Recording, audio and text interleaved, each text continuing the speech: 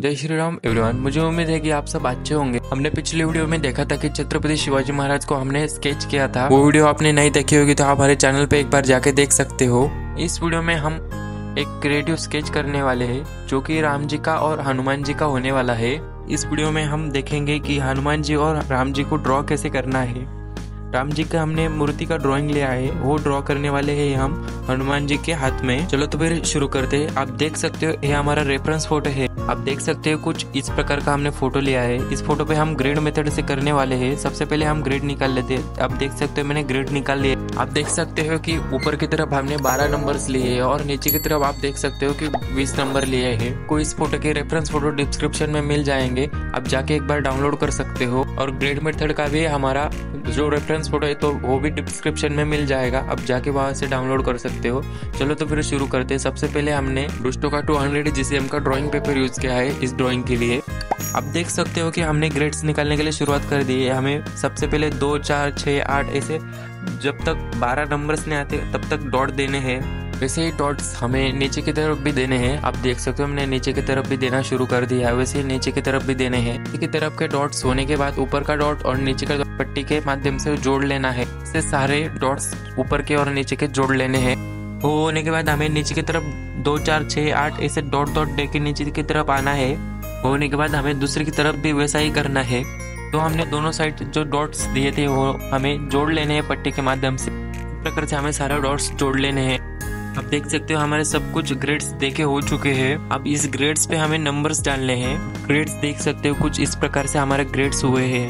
Paper के ऊपर एक, दो, तीन, चार ऐसे बारह तक नंबर्स देने हैं ऊपर की तरफ़ और नीचे की तरफ़ एक, दो बीस नंबर देने हैं। आप देख सकते हो कुछ इस प्रकार से हमें नंबर देने हैं।